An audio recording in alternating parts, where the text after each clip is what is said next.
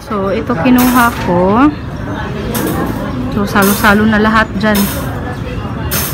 Tapos ito, isda, onion rings, rice, and dessert nila.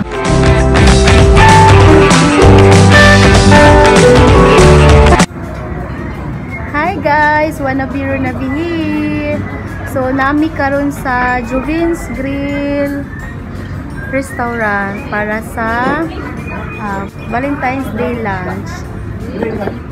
Happy Valentine's Day, Toy.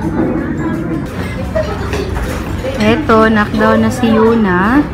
Buti na lang nauna kami guys kasi ngayon kailangan ng pumila. Pagdating namin kanina, diretso-diretso lang kami. Ang Jovin's Grill ay nasa Park Mall. Ah, halos tapat lang ng Bay Hotel yan na pinagstihan namin.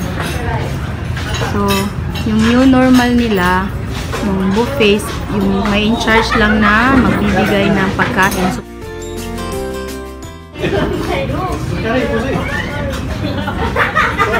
tapos, yung dessert, nasa loob. Pakita ko din sa inyo mamaya.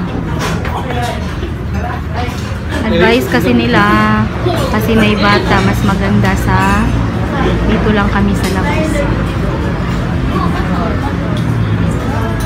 So, ito, kakastart ko lang kumain. Pinauna ko na si Eugene. Kasi nagutom si Yuna, nag-breastfeed muna kami. So, kain na.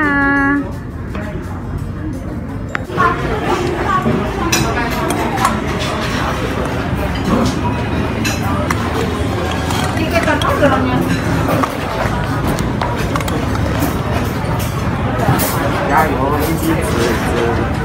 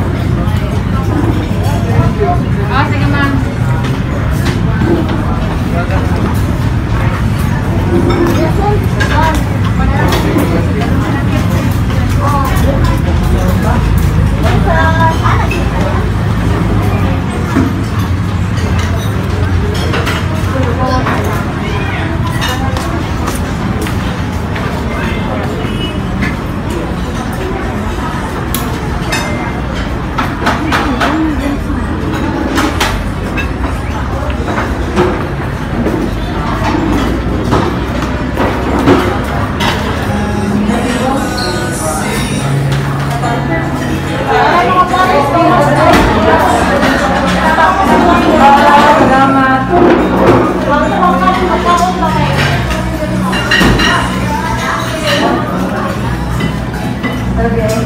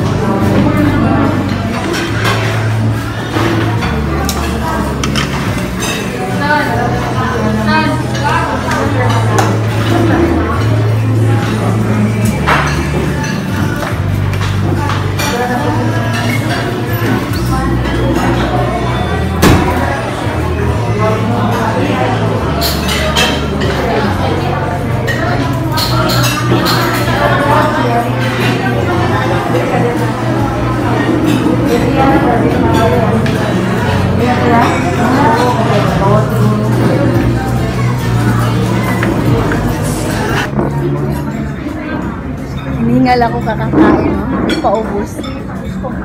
Oh, kailangan ubusin kasi after mo magbayad, pag di daw naubos, babayaran ulit. So, ganun.